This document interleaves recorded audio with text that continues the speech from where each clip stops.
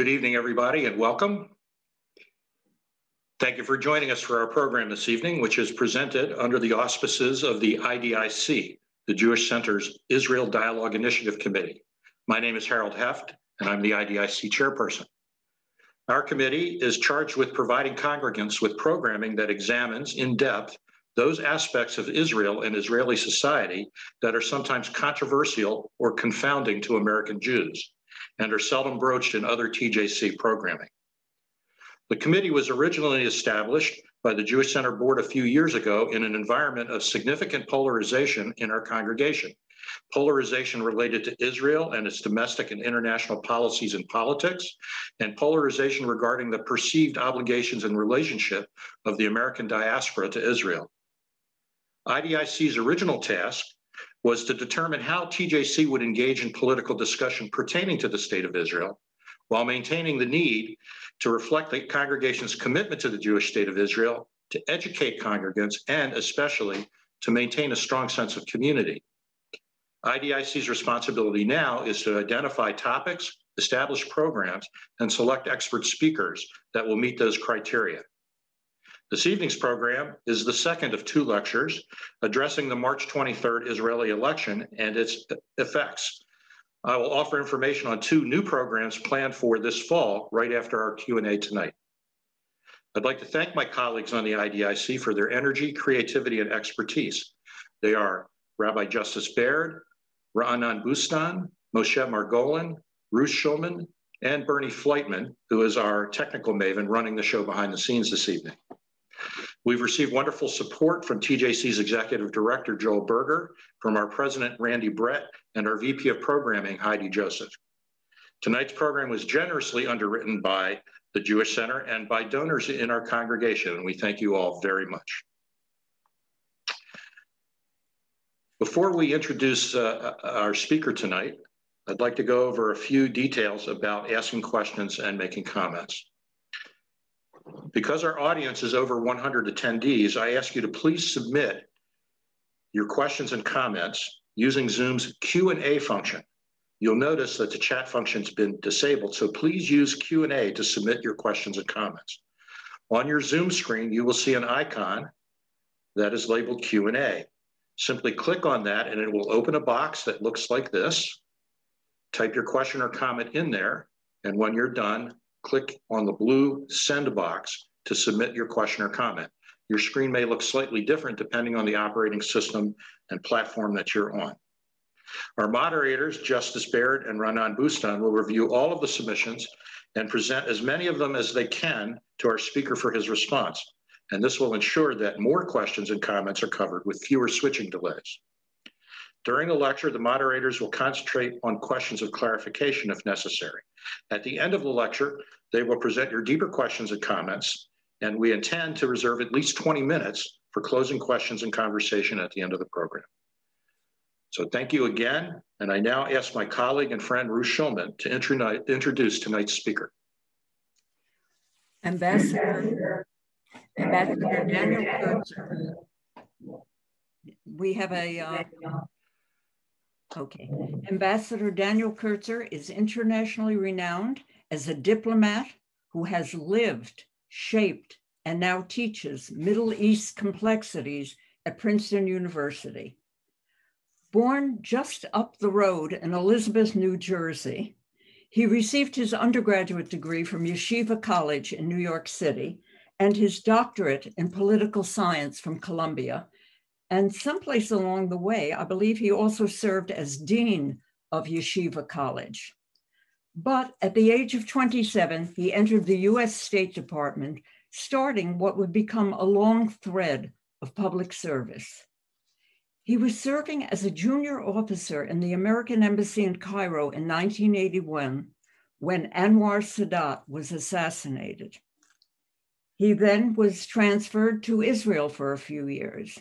Then in the late 80s, back in the US, he was appointed Principal Deputy Assistant Secretary of State for Near, for Near Eastern Affairs, specializing in intelligence and research. In 1997, already known as a respected, knowledgeable, and nonpartisan person, Dr. Kurtzer was appointed by Democratic President Bill Clinton to a four year term as US Ambassador to Egypt. Four years later, in 2001, when that term ended, he was appointed by Republican President George Bush to a four year term as US Ambassador to Israel. Once asked why he was drawn to the Middle East, it said that he answered, Well, it's not a place where tuxedos and cocktail parties characterize diplomacy. No, rather, he coordinated multilateral peace talks between Israel and Palestinians, Israel and Syria, and helped bring about the Madrid Peace Conference. In June 2008, after leaving the Foreign Service, he endorsed then Senator Barack Obama's candidacy for the presidency and was among the principal authors of Obama's address on the Middle East to the annual AIPAC conference in June 2008. Ambassador Kurtzer has published numerous articles and research papers, co authored two books, the first entitled Negotiating Arab Israeli Peace, and the second entitled The Peace Puzzle. Those of us who live in town were delighted when Princeton University beckoned Ambassador Kurtzer where he is now firmly ensconced as distinguished professor, serving as the S. Daniel Abraham Professor of Middle East Policy Studies in the School of Public and International Affairs. For the years he and his wife Sheila lived in Princeton, they generously shared their friendship with the community and Jewish Center members. Welcome back, Ambassador Kurtzer. Ruth, thank you very much for that uh, very warm uh, welcome. It is good to be back in Princeton virtually. And uh, I would like to share uh, Sheila and my fondness for the 13 years that we lived in Princeton before moving to DC to be closer to grandchildren. Uh, it was a great experience. The uh, session tonight has been advertised as looking at the implications of two elections, those in the United States and those in Israel. But we're actually in the midst of four elections our own, the Israeli elections, Palestinian elections, which were supposed to take place in late May for their parliament, but which just today were postponed, and Iranian presidential elections scheduled for June. And this confluence of elections suggests that this is a very challenging period in the Middle East for change that uh, has yet to be uh, foretold. So, what I want to do tonight is look a little bit more closely at a couple of the core issues on the US and Israeli agenda and to look ahead at how these might play out in the days ahead. Uh, of course, prophecy uh, left the Holy Land some years ago, so this will mostly be analysis, and I look forward to the Q&A and discussion uh, as we can share ideas about where things may or may not go. Uh, whereas uh, our election uh, last November produced a winner, even if it didn't produce a unified uh, political system, the Israeli election has not yet uh, produced a winner. There's continued deadlock. The mandate that was given to Prime Minister Netanyahu to try to form a coalition government is about to expire and the president of Israel, Reuven Rivlin, may hand that mandate over to another Knesset member, but it's not even clear whether that member, whether it's Yair Lapid or Naftali Bennett, will be able to form a government, which means that Israel may be heading to its fifth election in the last two years, suggesting that as divided as our own country is, Israel is perhaps even more divided on core issues relating not only to the peace process between uh, the Palestinians and the state of Israel, but also on basic issues relating to Israeli society. Both societies, in fact, are challenged today by uh, issues relating to democratic governance.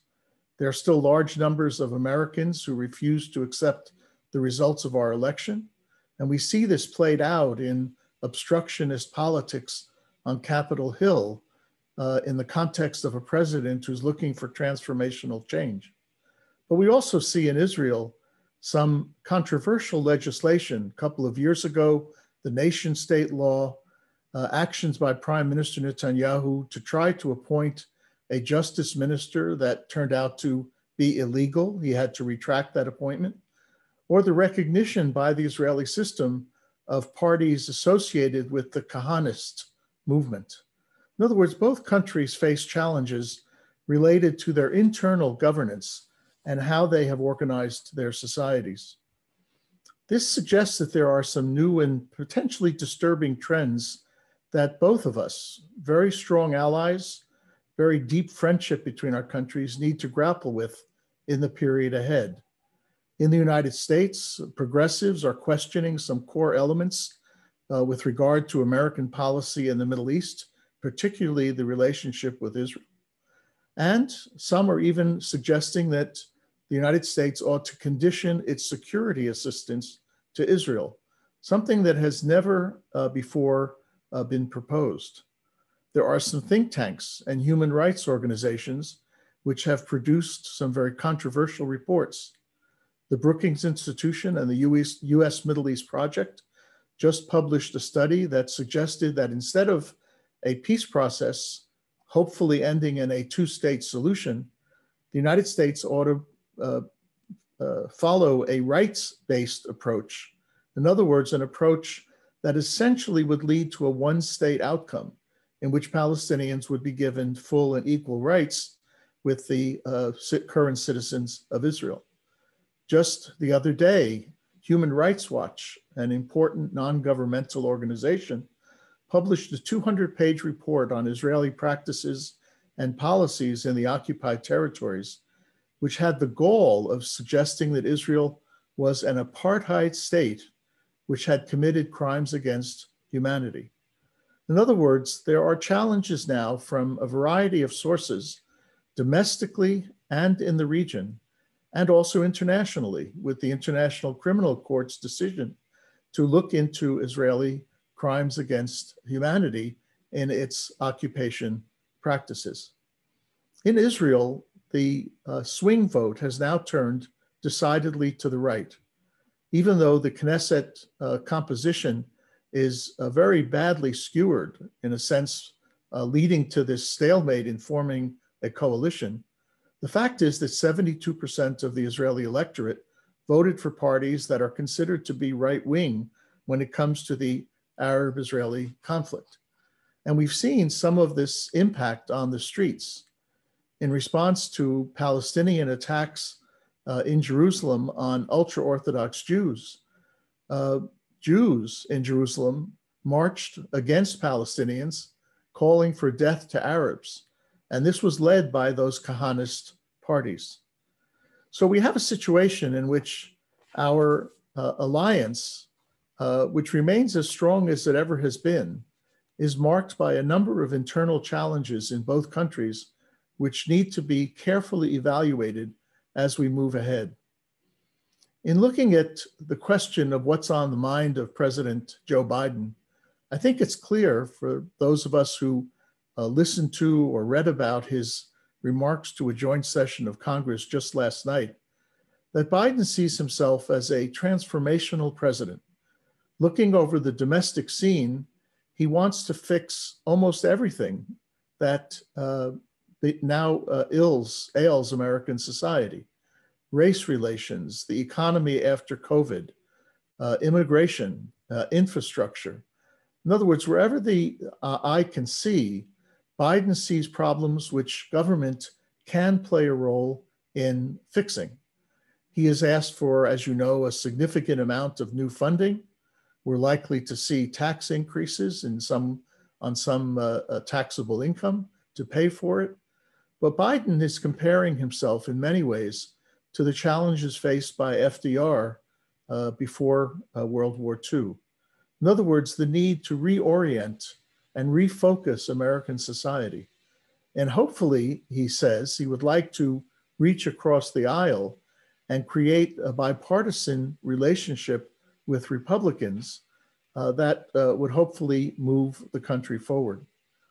But as he does keep this uh, razor sharp focus on domestic affairs, the foreign policy agenda will not uh, allow him uh, to ignore uh, issues abroad uh, during this period. Clearly, on the president's mind are the challenges faced uh, by that the United States faces from China, and he identified China as the biggest threat to American security over the period ahead. He suggested ways in which the United States uh, needed to rebuild, as he says, rebuild better in order to compete better with the Chinese. But this also includes major security challenges in the South China Sea, uh, in the so called Belt and Road Initiative, in which China is trying to expand the number of countries with which it has trade and security relations. And that includes in the Middle East as well. Recently, as you know, China negotiated a long term contract with Iran for the provision of fossil fuels that will bind Iran and China for perhaps the next 30 years, with Chinese influence growing exponentially, not only in Iran, but also in the Persian Gulf more generally. Russia also represents a threat to American interests and to the region. We saw Russian engagement in Syria to prop up the dictator Bashar al Assad, and we saw a demonstration of Russian military uh, capabilities in its activities since 2015. Russia has sold advanced weaponry to Turkey, is looking to sell advanced weaponry to our allies in Egypt, and is trying to expand its sphere of influence uh, throughout the region. And all of this represents a challenge to the United States. And it's a challenge which can be defined either as a threat or as a possibility of a cooperation as well as competition. The administration has also uh, reaffirmed in very strong words our relationship with the state of Israel, but one can discern a, an almost palpable distance in some regards between the president and Prime Minister Netanyahu. You recall that during the Obama administration, in which Biden served as the vice president, relations had hit rock bottom between the two leaders. Name calling and distrust and operating behind the back of the other side. Now, Biden, I think, has taken some of that aboard, does not want to repeat it for sure, but believes, I think, that Netanyahu continues to see Israel's interests best reflected in relations with the Republican Party rather than the Democratic Party. And as such, Biden is being very cautious and careful in his personal relationships with Netanyahu. You recall that it took some weeks before the president uh, reached out to Netanyahu after the election. You recall also that even though there are close communications right now on Iran, which we'll talk about in more detail in a few minutes. The fact is that those communications are happening at the professional level, and there hasn't been a meeting, certainly not personally, but even by phone, to discuss perhaps the most important issue on the bilateral agenda. The United States uh, continues to criticize Israeli policies in the West Bank, particularly settlements, but Biden has been careful not to exacerbate the differences between us. And that criticism of settlements has been relatively moderate relative to what we had seen not only in the Obama administration, but even in previous uh, Republican administrations.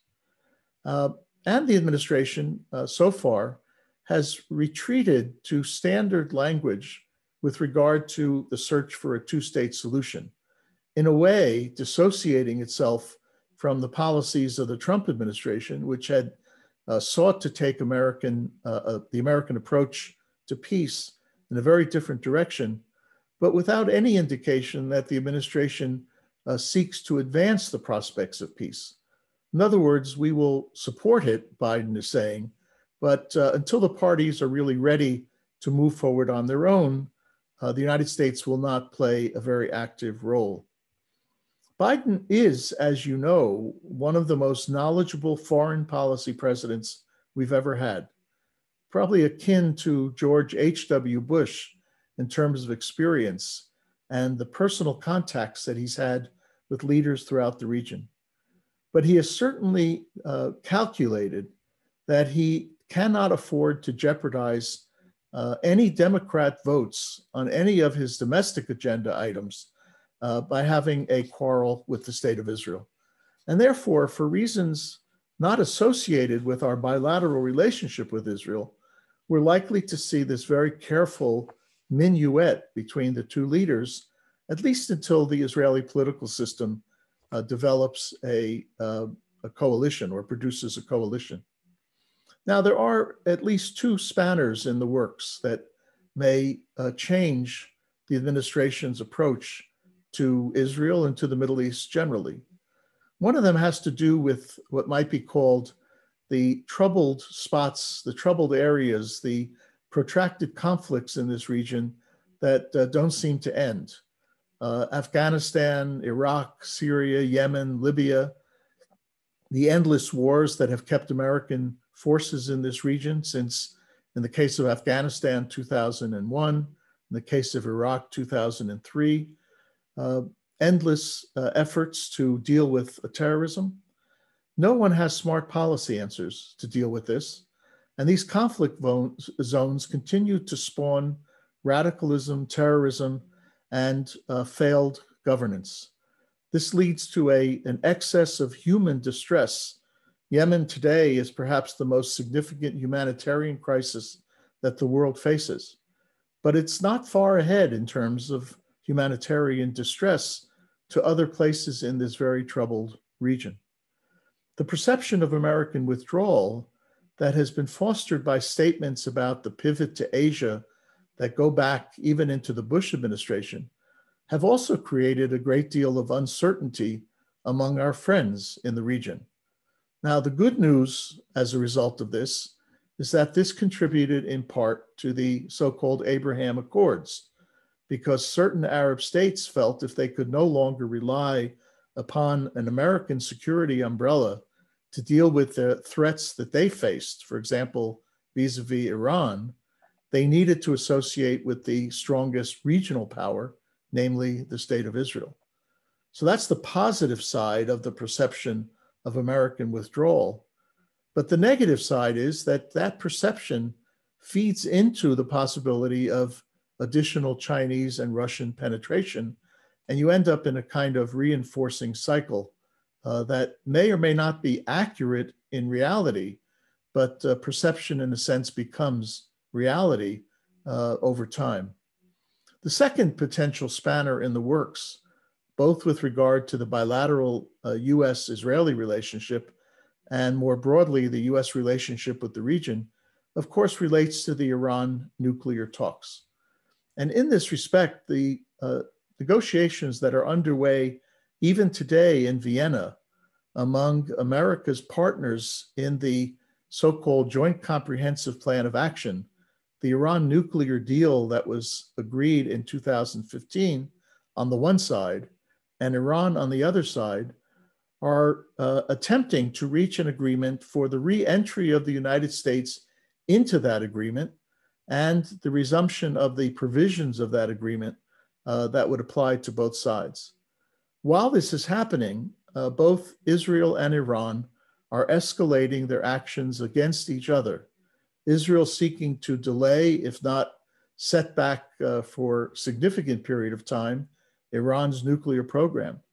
Uh, we saw recently a major electrical failure at the Natanz uh, nuclear facility, uh, initially, the Iranians said that it was an internal electrical problem, but most experts believe that it was uh, contributed to from the outside, probably by Israeli uh, operatives. Uh, when this happened, the Iranians did not and still have not responded directly, but there was an announcement almost immediately after that that Iran would begin uh, enriching uranium up to 60 percent. We'll talk about this in a minute because this is an extraordinarily dangerous development. So the idea of uh, escalation here is not out of the question. And whereas Israel and Iran believe that there can be controlled escalation, the problem is what happens if there's an unintended uh, accident, which leads to a, an action spiral, an action reaction spiral that uh, escalates beyond the desires of both parties. And it leads to the largest question of all, which is Is there a right policy, a correct policy, with respect to the Iran nuclear program? I want to put up a, a screen to show how uh, comprehensively challenging this is.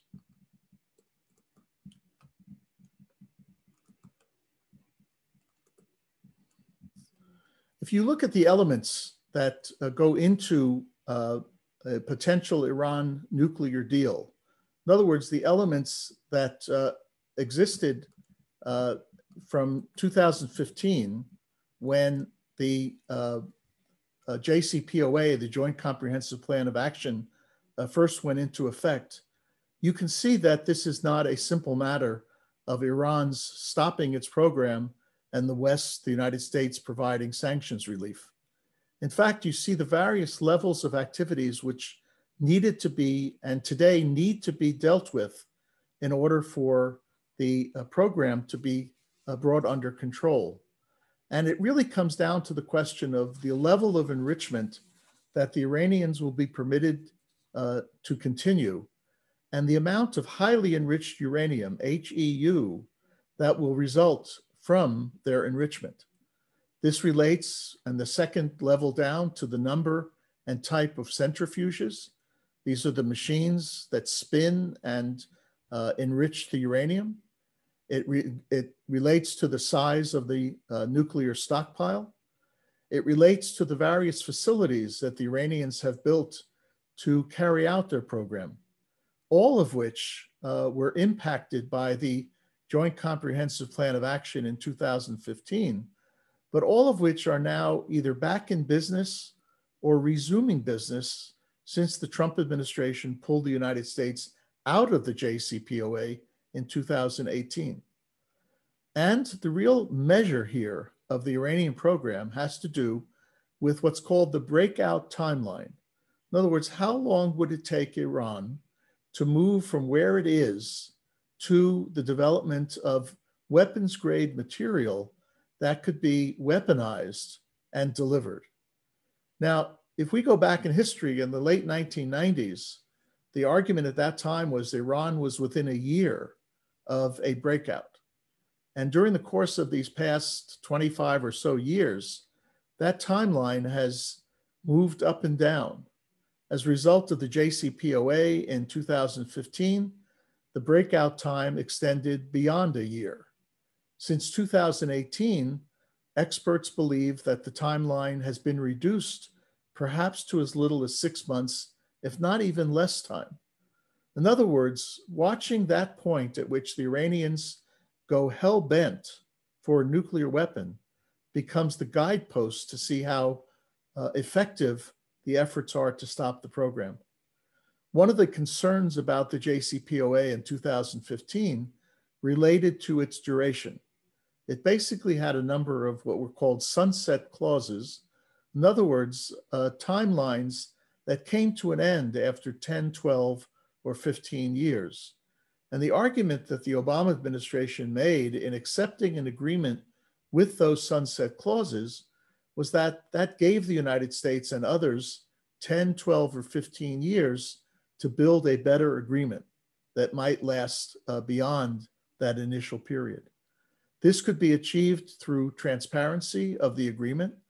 Extensive and intrusive verification and inspection was set up under the JCPOA.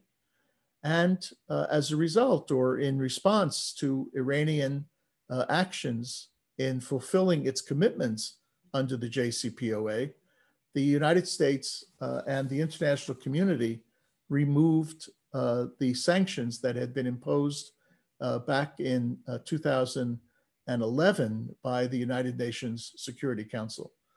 Now, all of this uh, was positively impacted by the 2015 agreement, and all of this was negatively impacted by the United States withdrawal in 2018 because everything that Iran did to comply with the agreement after 2015 ended up being reversed.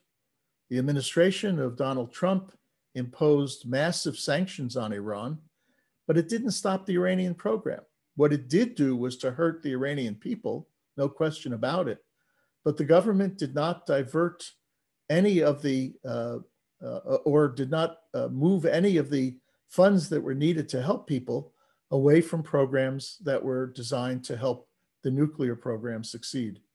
And so the massive sanctions, having been given these past three years to have an impact on Iranian behavior, really have been a failure. And so the argument that's made that if we only give them more time to have an impact, if we only let the massive sanctions remain, or and or if we hold out for a better agreement, uh, we will be better off. And this becomes part of the debate. Now, what are the issues that were not covered in the JCPOA?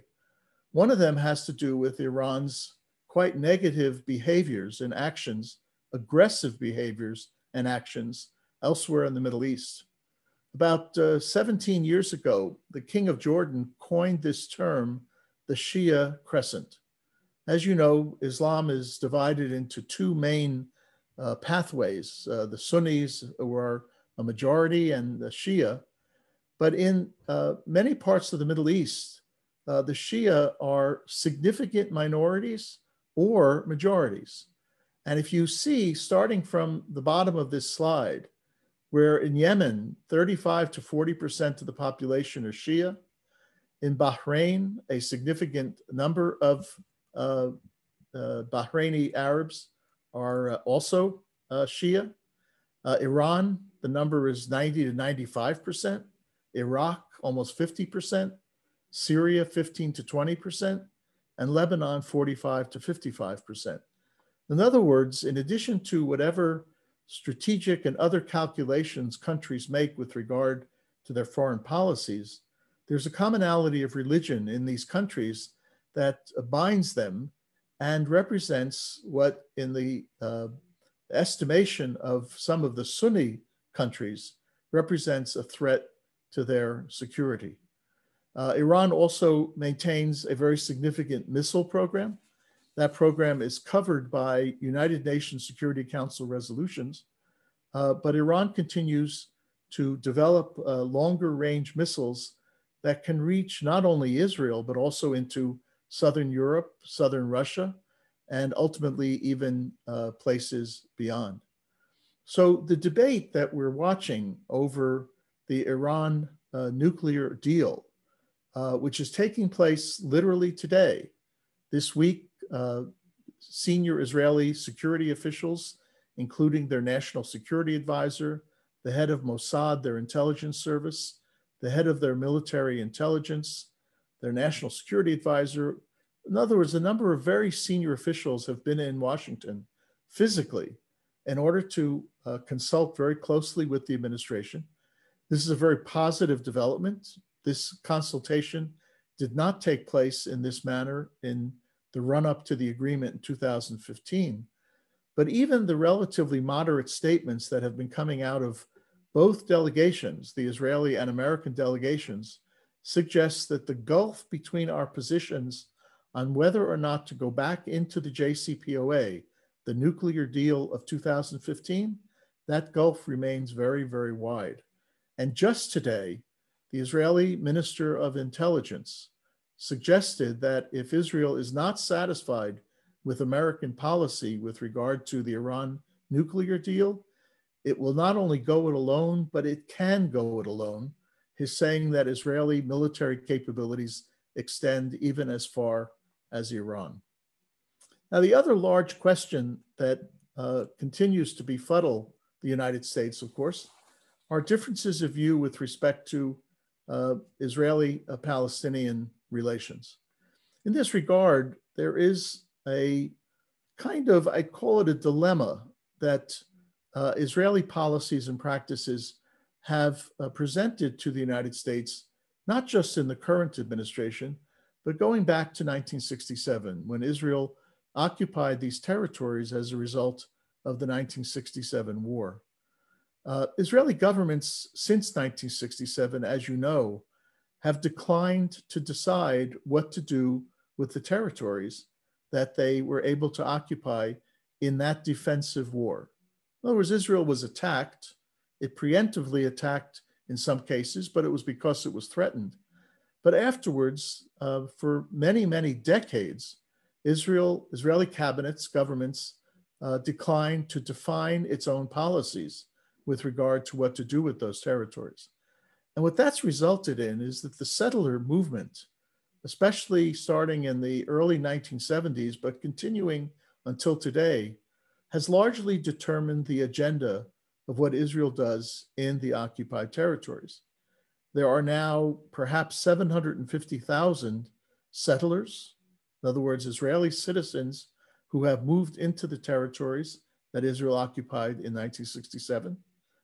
Not only have they built settlements that uh, are considered to be legal under the Israeli legal system, but they've built several hundred settlements illegally under the Israeli system. And Israel is now in the process of ex post facto legalization of what are called outposts. This was an issue, in fact, that was on the agenda of the Bush administration when I was serving as ambassador. The Israeli government committed in 2004 to uh, remove the outposts, the settlements that had been built without Israeli government sanction, without approval. That hasn't happened. And just the opposite has happened. Since that time, a process has been underway to uh, legalize these outposts uh, after the fact. There are many restrictions on Palestinian uh, building, uh, the issuing of permits, on movement. As you know, because of the possibility of uh, terrorists and suicide bombers coming in, Israel built a, a security fence and wall and Palestinian movement is channeled very significantly through checkpoints, uh, both fixed checkpoints and what are called flying checkpoints. And there are significant restrictions on Palestinian economic activity. At the same time, there is a, a lax approach to violence by settlers, another indication that settlers largely control the agenda in the uh, uh, occupied territories. For many reasons, therefore, Israel has become something of a hotspot in Washington. Uh, both parties, the Republicans and the Democrats, uh, claim the mantle of being Israel's best friend. Uh, the Trump administration took that to an extreme by essentially carrying out an agenda that uh, satisfied uh, all of Prime Minister Netanyahu's desires and more. Uh, the Trump uh, so called peace plan that was issued about a year ago said to Israel that it could annex up to 30% of the West Bank in return for about 16% of Israel proper being associated with the future Palestinian state. the United States under Trump said that settlements were not to be considered illegal, and that in fact we didn't even use the word settlements and the United States agreed that none of them would need to be uh, removed or withdrawn in the context of a peaceful outcome. The United States recognized Israel's annexation of the Golan Heights. In other words, whatever was on Netanyahu's agenda uh, was satisfied by uh, Trump for whatever reasons, whether it was electoral uh, or emotional. Uh, and that suggested to the Israelis that their best friends uh, were in the uh, Republican Party, and especially the Trump part of the Republican Party. Israel then further became part of a partisan divide, where Prime Minister Netanyahu was largely seen as supporting Republican aims and hoping that Trump would be reelected. Now, that doesn't solve the, uh, the problem because as we know, there is a, problem for Israel that simply will not go away. And I represent it in this Venn diagram because it is not only the simplest way to understand it, but it also is the simplest way to see what the dilemma is. On the, the top two circles, democracy and Jewish state, uh, both of these uh, concepts are ensconced in uh, what are called Israeli basic laws. Israel does not have a written constitution, but it has over the years enacted a number of so called basic laws, which over time will be incorporated in a constitution. And one of those basic laws says very clearly that Israel is a democratic Jewish state. In other words, the majoritarian uh, Jewish population uh, conducting their affairs of governance in a democratic manner. And I think for all of us, growing up uh, as we have supporters of Israel, we've uh, intuitively understood this as being part of Israel's DNA. Well, the problem is uh, when you add the third circle at the bottom of this Venn diagram, uh, what to do about the West Bank and East Jerusalem. Because if you want to hold on to the West Bank and East Jerusalem, and you want to remain a democracy, you're going to end up in a one state solution. Because the reality is going to be that you hold the territory, but you also acquire the people, the Palestinians. And there's no way that Israel is going to refuse to give Palestinians the full rights of citizenship. Uh, the failure to do so would raise the specter of apartheid, and it just is not a, a starting point for any discussion in Israel. And the same thing on the other side.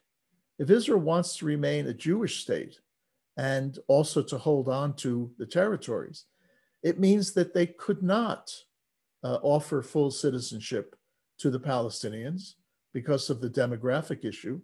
And they would be characterized then as an apartheid state. In other words, a single state in which there were two different categories of citizenship, something that, again, the Israeli public simply will not accept.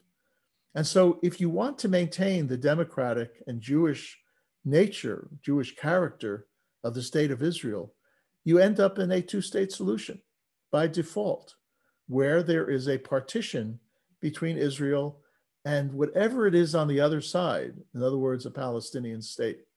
And the idea of a democratic occupation simply doesn't exist. You can't hold on to these territories and hope that you can remain democratic uh, while not offering uh, full citizenships, full citizenship. Now, the reality is that there's also a dilemma on the Palestinian side. And Palestinians describe it as follows. If you look at the maps from left to right, Palestinian aspiration has always been for complete control over all of Palestine. Uh, that's represented in the map on the far left, which they call historic Palestine, running from the Jordan River to the Mediterranean. In 1937, under the British Mandate, the British established the idea of partition. And you see the various ways in which they tried to draw the borders. The green being the Palestinian state, the white part being the state of uh, the Jews, the Zionists, and there's a part in the middle, looks a little bit like an internal organ running from Jerusalem to Jaffa that was supposed to be an international territory. The Zionist movement, as you recall, accepted this idea and the Palestinians rejected it. 1947, the United Nations, uh, after Britain decided to give up the mandate, uh, voted on the partition plan, November 29, 1947, where the green was to be the state of Palestine or the Arab state, the white was to be the Jewish state, and the little yellow portion around Jerusalem was to be an internationalized city. Once again, the Zionist movement, the precursor of the state of Israel, accepted. The uh, Arabs, uh, Palestinians, and the Arab states rejected. And uh, that led to first civil war between November and May of 47, 48, and then interstate war uh, after that. 1967 is uh, the borders reflected in the fourth map from the left, the borders that we grew up with, many of us, where the green uh, to the right of the map was called the West Bank. It was had been annexed by Jordan back in the early 1950s. And the green at the uh, center left of the map, being Gaza, was under Egyptian military administration. And as a result of that war, Israel occupied both of those territories. And then you end up with the map on the far right, which was a reflection of the so called Trump peace plan, where the Palestinians saw not only their aspirations for all of Palestine, which they would still like, uh, unfulfilled, but they saw a, a truncated canton like or cantonized state being proposed by the United States. Now, there are many who suggest that this is the Palestinians' own responsibility, having rejected uh, the uh, proposals put forward by uh, the international community and uh, the state of Israel. Uh, Palestinians now have to live with the consequences. And that would be a fair assumption if that was also a desirable outcome for the state of Israel. But as I noted, it's not a desirable outcome for the state of Israel for it leaves open this question of what you do about the people and the territory. In other words, if Israel is going to act only for its own benefit, there are many Israelis who make the argument that it is in Israel's interest to uh, uh, divest itself of these territories. So, what's happened over the years is this long list of ideas, proposals, uh, strategies. The and I'm not going to review all of them, but on the left are uh, ideas that have been put forward for uh, trying to resolve the Palestinian Israeli conflict. It runs from the Trump plan to annexation to unilateral recognition of Palestine to violent resistance, nonviolent resistance, negotiations, coordinated unilateralism. In other words, if you see behind me a bookshelf full of books, Virtually all of them relate to these ideas. And there are hundreds of proposals, and many of them make a lot of sense. But none of them has yet garnered the support of Israelis and Palestinians at the same time. Israeli leaders, uh, particularly uh, Rabin, uh, Barak, and Olmert, have been extremely forthcoming in developing ideas uh, to try to resolve this conflict. Uh, Palestinian leaders have not responded uh, with equal uh, creativity or acceptance. And so we're left with a large number of ideas, but none that has yet uh, uh, garnered the support of both sides at the same time. And those ideas uh, all don't lead necessarily to the same outcome. Because on the right side of this slide, you can have one state, two states there's an idea of three states, Gaza becoming its own state, status quo, creeping annexation, the Jordanian options, trusteeship, confederation. There are all kind of ideas that how this thing should come to an end. But so far, nobody has figured out a way in which substance and process merge in a uh, positive enough manner. Now, that could come to an end if people followed the Kurtzer peace plan because over the years since leaving the State Department, corresponding to ideas that I did propose back then, uh, the suggestion that I've made is that we have to walk, chew gum, and do a lot of other things at the same time. And I've represented it in this little diagram, which suggests that there are probably at least six things that we need to do, the United States and the parties, in order for this uh, conflict to at least potentially see an outcome. Number one, we have to look at top down. What I mean by that is looking at the core issues. Are there bridges, creative bridges possible between the positions of the two sides? Back in the year 2000, President Clinton developed what he called the Clinton parameters, which was a way of trying to take the positions of the two parties and seeing whether or not there were correspondences between them. And in fact, both sides rejected the Clinton parameters when they were put forward. But as soon as Clinton left office, the two sides went off and started negotiating on the basis of the Clinton parameters. Now, we know enough today to update those parameters because in 2008, Prime Minister Olmert and President Abbas uh, made some significant progress in their negotiations.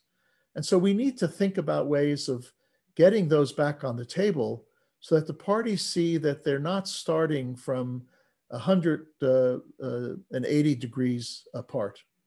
Second, we have to think about uh, outside in. In other words, what can the Arab states do to help advance the prospects for peace? And in this respect, the Trump administration accomplished something very positive by fostering the normalization agreements involving the United Arab Emirates, Bahrain, Sudan, and Morocco. Uh, we need to see more of that. The Biden administration has said that it not only supports the current agreements, but will work to advance the prospect of additional agreements. And in addition to their uh, uh, establishing relations between those states and Israel, those states can be helpful to Israel and the Palestinians as the two sides pursue peace. First of all, by uh, showing the Israeli public what peace looks like, investment in tourism, and showing the Palestinians that they will have the support of the Arab world if they make the necessary concessions and compromises in their relationship with Israel. On the right side of the slide, it's called inside out. In other words, a peace process that only takes place between governments is not good enough. We need a process that includes what's called P2P, people to people, activities that bind individuals in Israel and the Palestinian community, Israel and the Arab states. There's a lot of it that actually goes on that's not well known. And the United States has often funded activities designed to promote people to people ties. We also promoted in the 1990s multilateral negotiations that involved the private sector as well as the public sector in dealing with issues that had not been uh, dealt with because of the underlying Israeli Palestinian uh, problem. And then you also need at the bottom of the slide what I call bottom up. In other words, there has to be a better situation on the ground in the West Bank uh, so that Palestinians can live better. They can feel freer, they can move more easily, they can start to build their economy and their institutions of statehood, which is something that's in everybody's interest. You don't want to create a Palestinian state that immediately becomes a failed state. In between all of this, you can also have what are called CBMs, confidence building measures. In other words, activities designed to build trust. And you build in something called accountability, where outside parties take a hard look and say to the Israelis and Palestinians, we're actually going to hold you to do what you say you're going to do and we're going to hold you to avoid doing what you're not supposed to do. And it suggests that with these six elements, there might in fact be a serious prospect for peace in the Middle East. Now, there's one last thing to note, uh, as we always do in policy analysis, and that is what are the black swans? What are the uh, possibilities out there that we may not be taking into account, but that may come back and hurt us in our effort to achieve progress, whether on the Israeli Palestinian issue or on other issues. And as you go down this list, you can see how significant each one of them is.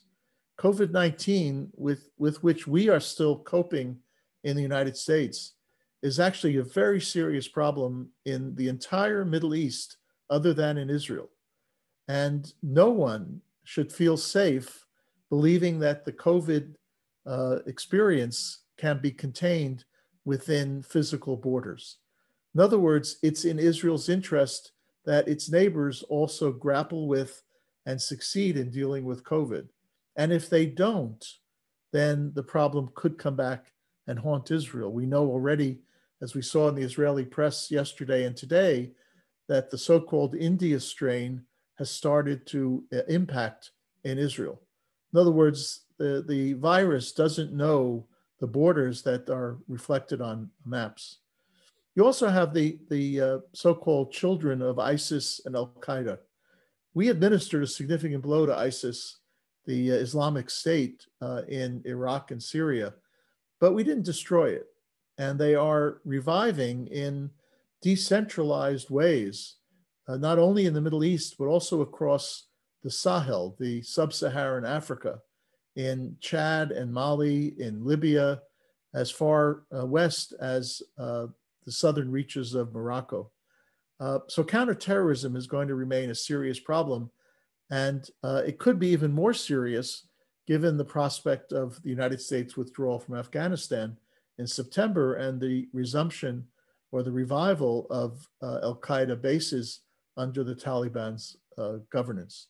And then you have these the rest of these issues, the conflict spillover uh, from Syria, Yemen, Libya, the possibility almost at any moment of a conflict between Israel and Hezbollah or Israel and Hamas.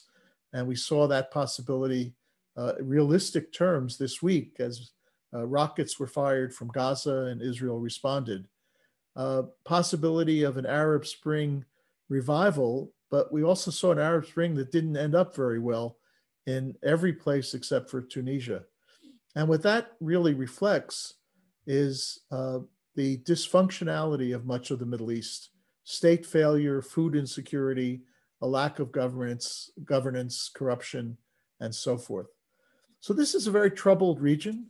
It's a region in which the United States continues to have significant uh, uh, interests to play, and uh, one in which the United States and Israel will uh, continue a very strong relationship, even as we try to grapple with the problems that I enumerated. I would love to leave everybody with a much more optimistic uh, idea of what lies ahead. Uh, I've told uh, people over the years that the one advantage of working on the Middle East is that it's a guarantee of lifetime employment. It's a target rich environment for uh, policymakers, but it's not one that's amenable to easy solutions uh, certainly not in the immediate period ahead. And for that reason, uh, it's important for us to understand these issues and to contribute uh, intelligently to a public policy debate about what to do on these very challenging choices. So I will stop there. Uh, Rabbi Baird, I'll turn the floor over to you if you want to begin moderating questions. Great. I think uh, Raanan Bustan is actually going to kick us off. Okay. Great. Um, thank you, Ambassador Kurtzer, um, for a, a, really clear and insightful um, picture of the complex issues that um, are facing the region as a whole and Israel in particular. Um, there's um, we've had quite a number of questions. I wanted to begin with one that I think takes us back to the first half or a central part of the talk. Uh, what will happen if the negotiations to reinstate the JCPOA fail? Um, you've, you've laid out um, some of the tensions around uh, developments, especially in the move from the Obama administration to the Trump administration. If there are, in fact, active negotiations and they fail, would a, do you foresee a war breaking out between Israel and Iran? And will you, the US be drawn into that war? Look, I, I personally um, am very worried uh, over the possibility of failure. Uh, not because the JCPOA is a perfect agreement, it's far from perfect. It certainly doesn't cover all of Iran's other malign activities. But we've seen the uptick in Iranian nuclear developments since our withdrawal from the JCPOA. And if that continues, the movement from 60% enrichment to 90% enrichment is not challenging. I'm not a physicist, but the physicists among us will tell you that it is not easy to get from 3% to 20%.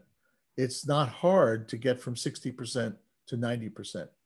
And once there is uh, that level of enrichment, creating a, a body of highly enriched uranium available to uh, be weaponized, uh, the options for uh, the rest of us uh, become much narrower. Uh, diplomacy uh, almost comes to an end because Iran may feel that it no longer needs to negotiate. the resort to more violent measures by Israel and perhaps by the United States becomes a much greater possibility. Uh, and we've seen what happens in other cases once countries uh, join the nuclear club, uh, India and Pakistan and North Korea. So you want to stop the program in its tracks. However um, full of holes the agreement is, while you therefore have the possibility, maybe the breathing space of uh, maybe stopping it permanently. Without that, uh, as I say, the, the choice is narrow and the possibility of war uh, goes up exponentially. Thank you. I have a question that um, I think maybe on some people's minds as they hear you talk in the community. Um, and it's a really a terminological question, and I'd be curious to hear you reflect on, on this. Um, why do you refer to occupied territories rather than disputed territories in your when you talk about these issues? Well, under international law, the territories are occupied; they're not disputed. Uh, I know there's Israeli legal argument that holds that since uh, only uh, Britain and Pakistan recognize Jordan's uh, annexation of the territories, that these territories essentially revert reverted status to what was under the British mandate, and therefore uh, Israel has as much a claim as does as do Palestinians. But uh, that's not the internationally accepted legal definition, and it has not been the internationally accepted legal definition for the United States. The US position has always been that these territories are subject to the rules and regulations of the Geneva Convention and the Hague regulations. Israel, in fact, has said that it doesn't accept the binding nature of Geneva and Hague, but it has said over the years that it is prepared to implement its obligations under those conventions. So, you know, I, I, I respect the idea that there are some people who don't like that legal definition, but that's not the definition that the United States um, has adopted since 1967, and therefore they are the occupied territories. Thank you.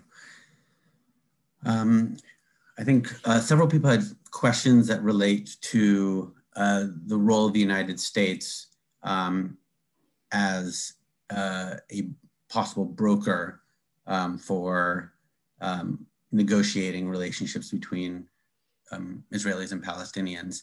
Um, I'll formulate this way. Uh, does the United States still have credibility as an honest broker for a peace plan? And if they, if the US no longer has that, I'm not sure that what you would say, are the hopes for a lasting peace for the Palestinians dim at this point? Yeah, it's a very good question. And it's one that uh, was being asked even before the Trump administration came into office, but that uh, escalated a great deal during the Trump administration when the United States essentially sought to distance Palestinians from the very peace process that they were supposed to be involved in while supporting uh, virtually everything that Prime Minister Netanyahu wanted. Uh, the question has been raised uh, for many years as to whether or not a country like the United States that has a strong alliance and friendship relationship with Israel can also act as an honest broker between Israel and its negotiating partner. The way we used to think about this 25 years ago when I was in government was that, yes, we could do that because Israel trusted us enough to know that we were not going to do anything that would harm Israeli security and that we would bend actually in favor of Israel's security in any final status agreement, while at the same time, uh, we could bend in the direction of Palestinians on issues related to uh, borders and governance. Uh, one manifestation of this um, was seen uh, during the Obama administration when the president appointed General John Allen a decorated uh, American uh, general who had been the head of, uh, I think, Central Command and had fought in various wars, to work with Israel on a security architecture for a possible post peace settlement arrangement. And Allen's mandate was to say, uh, okay, Israel believes that its security is uh, pretty good as a result of holding these territories. How can we match that if Israel had to give up the territories when it's giving up strategic depth, when it's pulling back from, uh, for example, the Jordan River, when it's pulling back from the, uh, the ridge, the ridge line that runs north-south uh, through the West Bank. And Allen worked uh, quite intensively with a large staff of US military to find a um, very complex set of uh, uh, conditions uh, which he believed would effectively match the security that Israel enjoys today. Now, we know anecdotally that that study was never released publicly, it's classified. We know anecdotally that the Israeli army was actually quite interested in what Allen found. Uh, the Israeli government didn't want to deal with it, so it didn't go anywhere formally. But uh, after Allen retired, he's now the head of the Brookings Institution. After Allen retired, uh, the Center for New American Strategy published a report that, in some ways, is a mildly unclassified version of what Allen did. And it's available online, uh, C- cnas.org. I don't have the, the full citation, but it tells you that this is a, a multi layered, overlapping set of security arrangements that hopefully would provide Israel with uh, the measure of security that it requires. Now, I mention that in detail because um, for Israel, security has always been the paramount uh, issue. And therefore, it has been the paramount issue for the American honest broker as well. Now, the second part of the question can we still be an honest broker today? I don't know. I really don't know whether we have the credibility after the four years of Trump and after the Trump plan to go back to the two parties and say, you know, we're back in business. Uh, Palestinians don't trust us.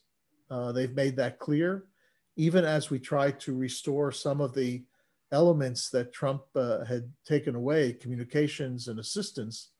Uh, so it's going to be hard for us to rebuild the credibility uh, to go back and, and try to mediate this conflict, which uh, unfortunately leaves a vacuum because there's nobody else as well placed as we were uh, to do this, uh, waiting in the wings to take over this role. Thank you. Um, I had um, uh, a question that I guess. Yeah, you have to. You have to go. Sorry, I have uh, children entering. Um, uh, I'm curious um, to hear you reflect a little bit about um, developments um, um, um, within the governments of other um, important countries in the region, in particular Saudi Arabia and more recently Jordan, uh, and the kinds of um, internal tensions that you see, in particular within the uh, royal families uh, that govern these states, and, and whether um, you see an impact on uh, the relationship between Israel and Palestine uh, being affected by what seem to be you know, pretty um, novel developments in those countries? Sure. Well, uh, they're quite different. Let me start with Saudi Arabia.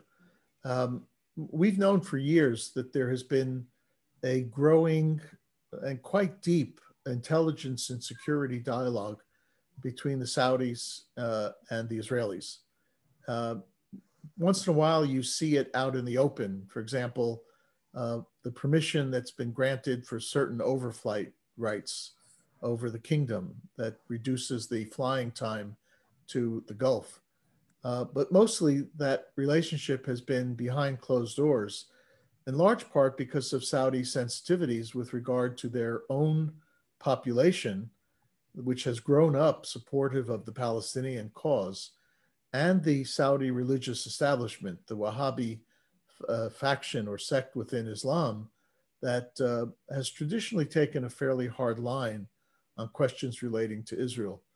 During the uh, Trump administration, there seemed to be a growing willingness on the part of uh, Mohammed bin Salman, the crown prince in Saudi Arabia, to be more open with regard to Israel.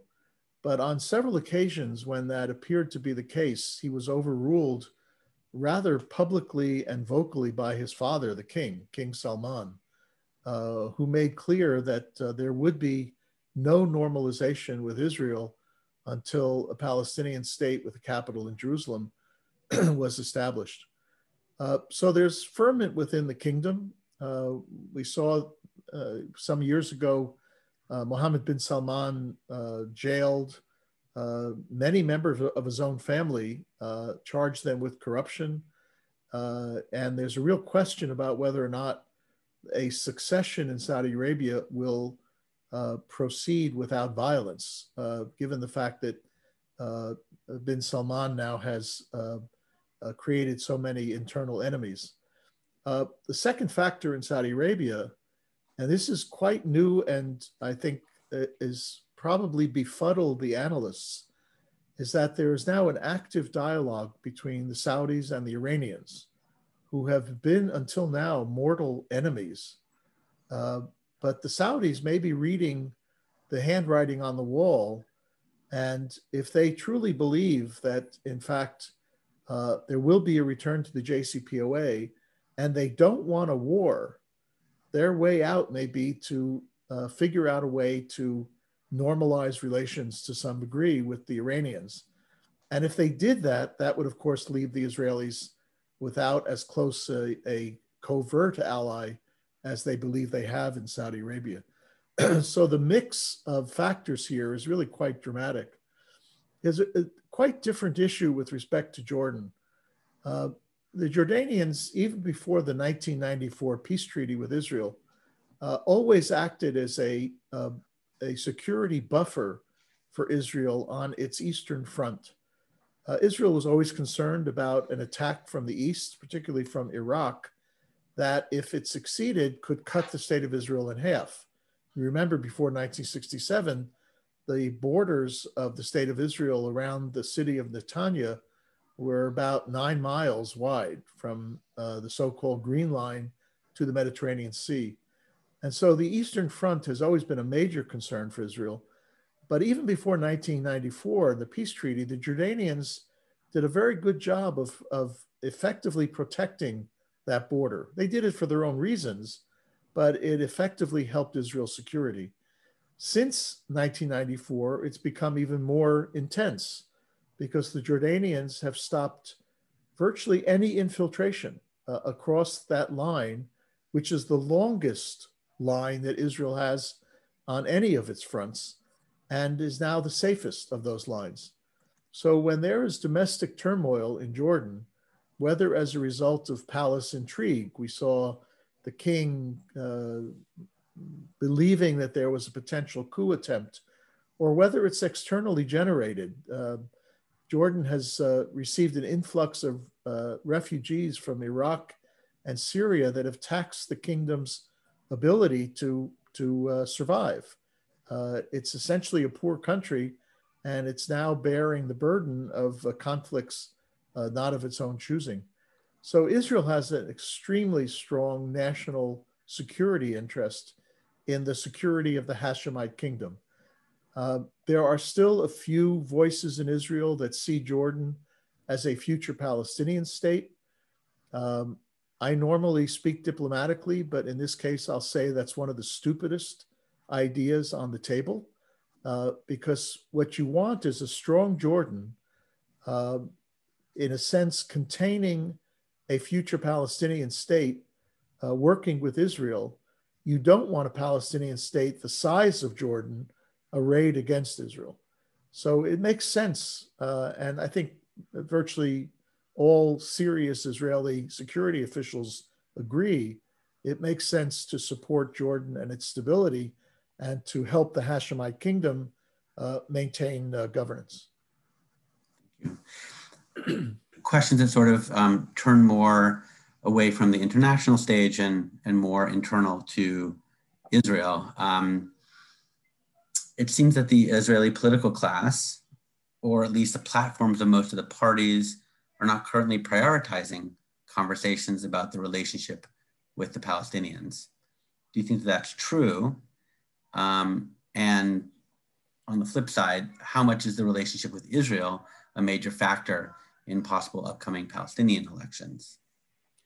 Well, it's certainly true of the Israeli public. As I noted in my formal remarks, Israeli governments have, uh, you know, almost uh, blinded themselves to this problem because they haven't been able to take a decision, and they haven't seen any pressure from below, from the public, to take a decision.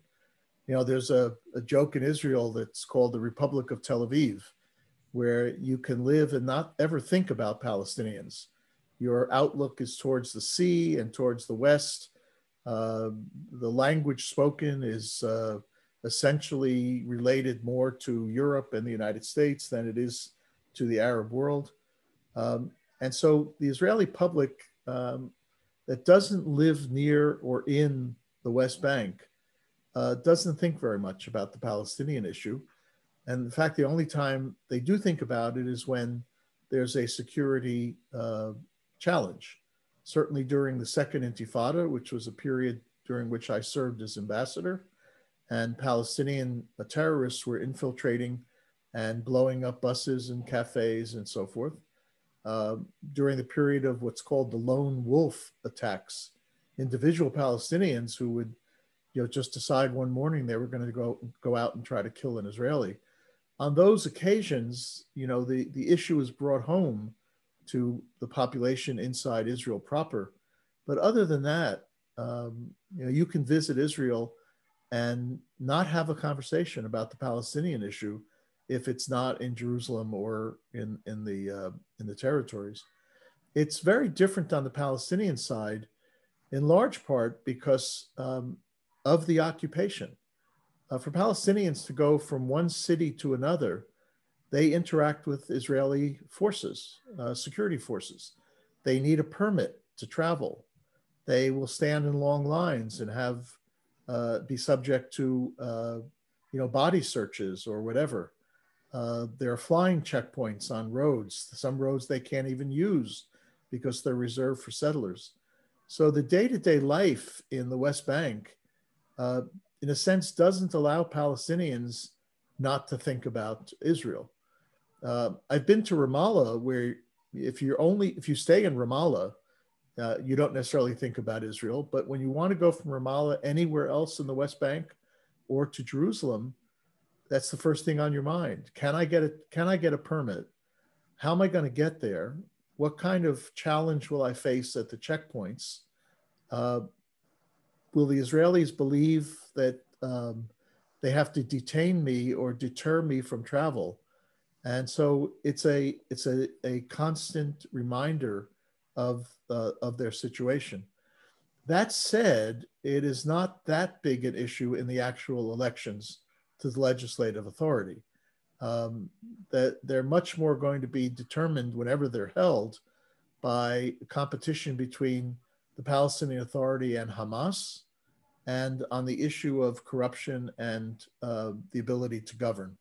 Palestinian public through a lot of polling uh, has been shown to be extremely upset at the poor governance of the Palestinian Authority and about corruption both among Palestinian Authority officials and Hamas officials. So their elections, you know, pretty much like ours, will focus internally on their own society, but on a day-to-day basis, their interactions with Israel uh, never go away. I think there's a, a follow-up question given your answers, which is that if the political class and the parties themselves are not or are not um, running on issues around uh, resolution to the conflict, um, do you think that there are um, avenues or parties outside of the political process that can um, play a a role in the negotiations if the political class is not um, going to use its capital, let's say, to um, engage in that process. Yeah, I, am not optimistic. There are, I think, 34 parties registered for the legislative elections. It's almost like the Israeli system.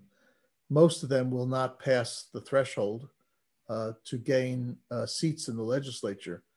Uh, but I, there's there's no one um, evident right now who will, you know, take a Sadat-like decision and uh, make a compelling enough case to the Israeli public to restart a peace process. You know, some of the names you hear actually are are in the opposite direction. Uh, Marwan Barghouti, who's sitting in jail five consecutive life sentences for killing Israelis, uh, will gain seats in the parliament. Mohammed Dahlan, the former security chief in Gaza, supported by the United Arab Emirates, will gain seats, but um, they don't talk about a peace process. They're talking about power. Uh, you know, what we've known since 2004 when uh, Mahmoud Abbas uh, took over after Arafat died is that uh, he has been a partner for peace. Not the perfect partner, hasn't been as heroic a partner as one would have wanted, but he has opposed violence and he has supported the idea of trying to reach an agreement.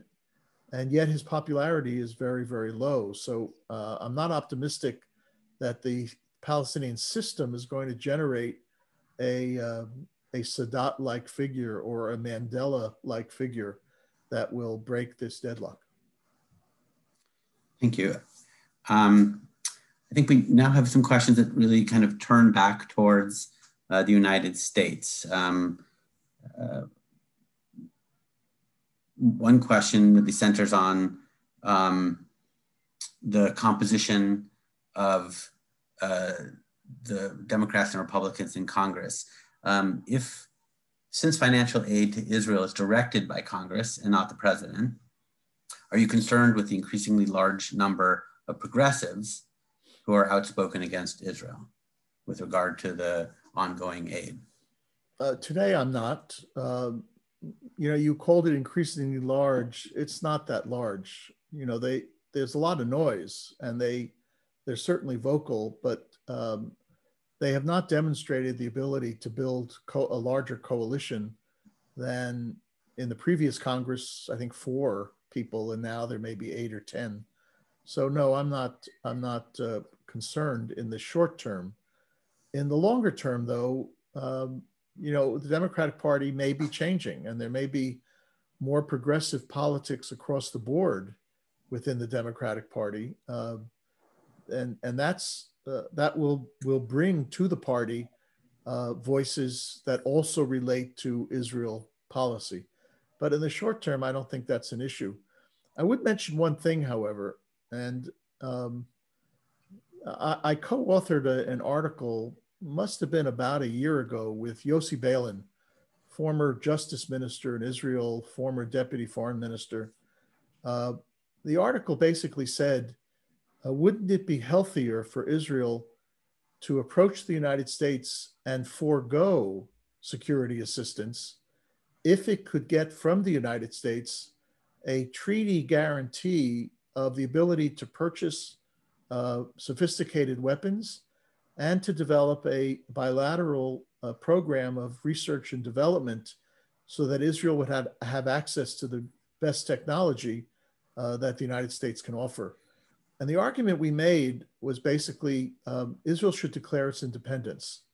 Uh, as long as the United States does provide upwards of $4 billion you know, in a in a small a small way, we have a vote in Israeli policy, and we shouldn't have a vote in Israeli policy. It's an independent, sovereign country. They should make their own decisions, and thank God they're a wealthy country, wealthier than most of Europe, in fact. And so they do have the resources to purchase what they need. What they need from the United States is a guarantee that they will be able to purchase what they need. And uh, so our argument really, um, it, you know, it sounded, some progressives applauded it, but it was not a progressive argument. It was an argument essentially on Israeli nationalism terms. You know, you're, you're big enough and mature enough and rich enough to be able to afford what you need through your own means.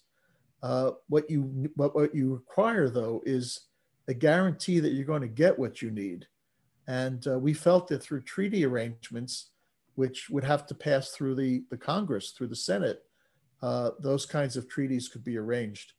Uh, it's not part of anyone's debate right now, but um, I know that uh, there are people in Israel who have believed this for quite some time and would like to get out from under this dependent status that Israel has been in for such a long uh, period.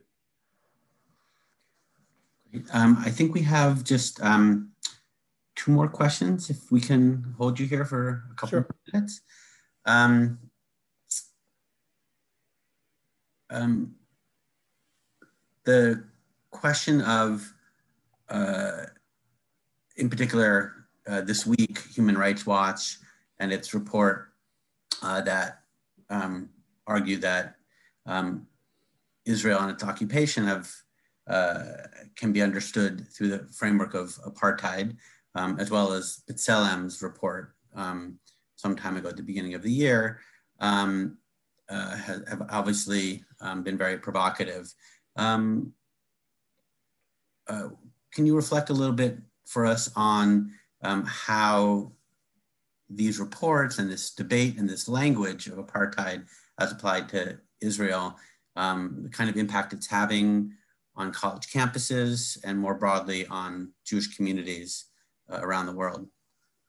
Yeah, I, I think the unfortunate um, aspect of both of those reports is the degree to which they're going to send everybody to opposite corners.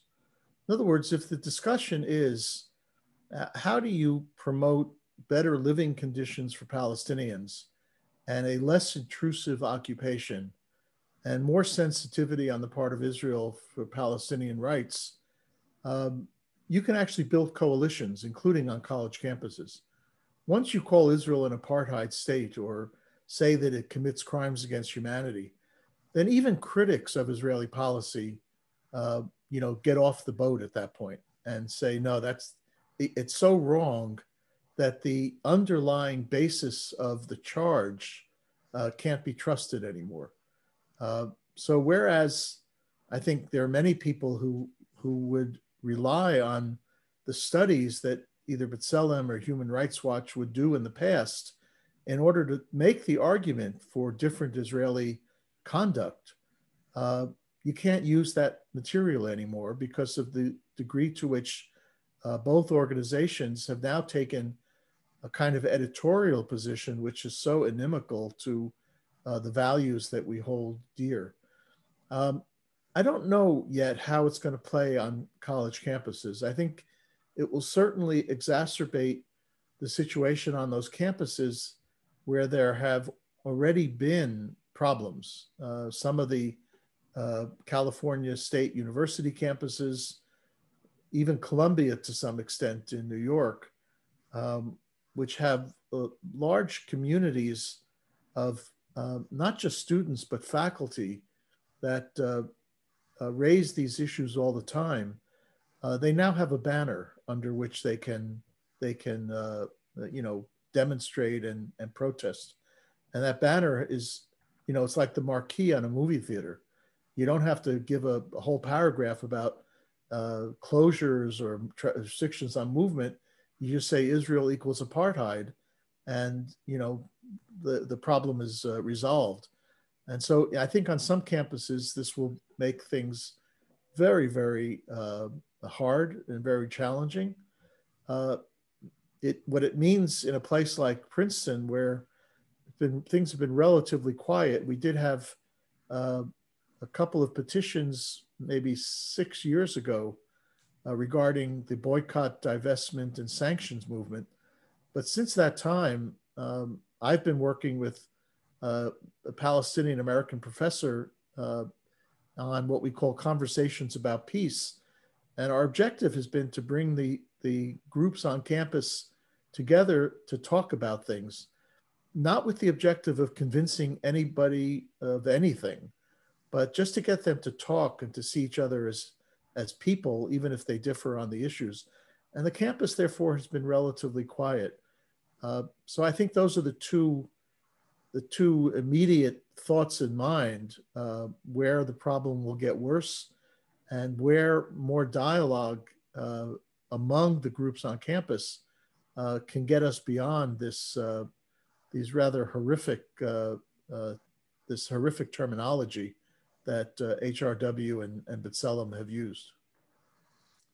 Thank you. Um, the, the final question was actually you began to move in that direction. And I don't want to put you too much in, in the hot seat, but um, I'll ask it this way anyway, because I think this is um, very much connected to the. That's okay. I've, I've been Oh. in the hot seat for years. I'm fine. sure Yeah. uh, IDIC um, and uh, and TJC. Um, so in this kind of uh, climate of political polarization, um, how do you think communities like ours can best um, discuss these issues constructively? It's different from students who may identify with Israel or with Palestinians, um, but internal to our um, community. What are some of the strategies that you would um, advise us to take as a community? Well, you know, not to pat you on the back, but the creation of of this IDIC and you know your willingness to bring in a variety of voices, obviously with limits. You're not going to bring in a, a Sonei Israel, a- an enemy of Israel, um, and in the same way, it probably doesn't pay to bring in, you know, someone from the Kahanist uh, uh, faction in Israel. But uh, the more voices that you can um, uh, uh, bring into the uh, debate within the community, hopefully at some point being able to do it in person so that there is a real interaction, not you know mediated through through Zoom, becomes, in my view, the healthiest way to proceed.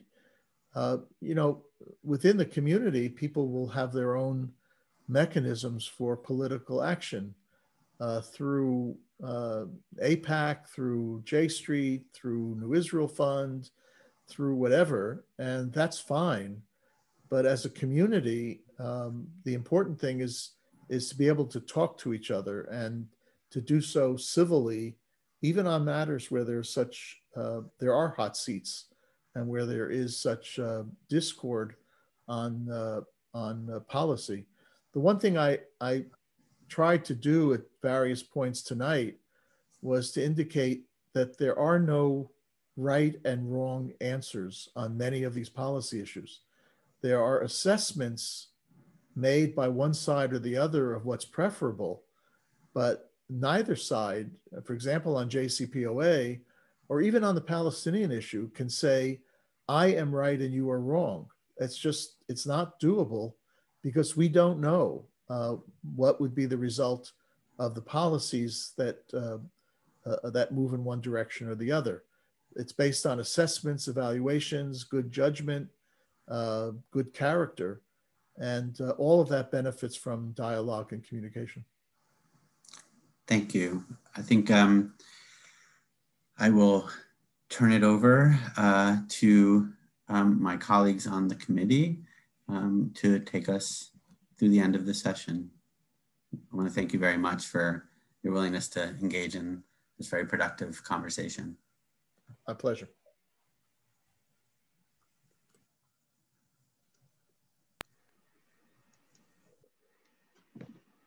Ambassador Kurtzer, uh, on behalf of tonight's attendees and the members of the Israel Dialogue Initiative Committee, I want to thank you for most interesting talk, which was really enlightening to me, and I thought I knew about the Middle East. Anyway, all of us are very, very appreciative. Thank you. Thank you, Moshe, and thank you, uh, Ambassador Kurtzer. Thank everyone for attending this really informative and enlightening presentation.